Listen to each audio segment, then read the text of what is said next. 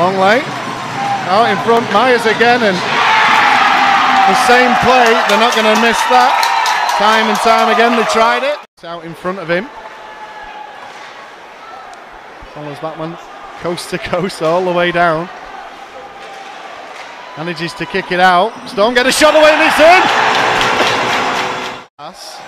Now the Devils set up 15 seconds to go. Deflected in front by Dixon and it gets past Matkin.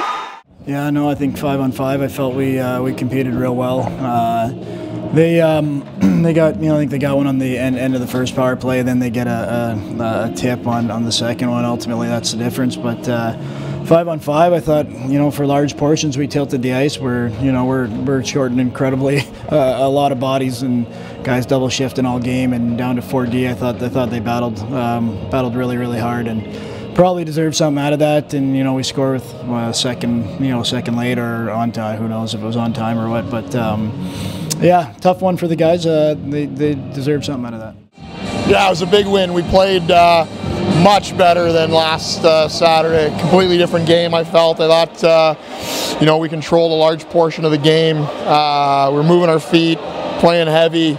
Uh, I thought their goaltender played fantastic and give Manchester credit. Uh, they never go away. They compete, they compete, they compete. They find a goal in the third there to get the building going. And then, uh, fortunately, we were able to get that second and then hold on uh, and get the job done.